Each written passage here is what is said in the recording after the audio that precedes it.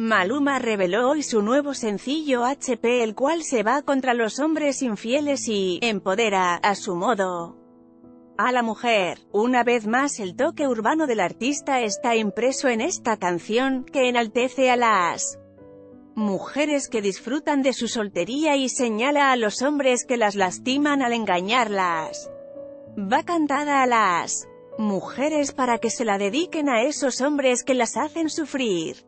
Estoy muy feliz porque es mi primer sencillo del año y es muy fuerte. HP pretende romper con el estigma machista que le han creado sencillos como Cuatro Babies, del que fuera duramente criticado tiempo atrás.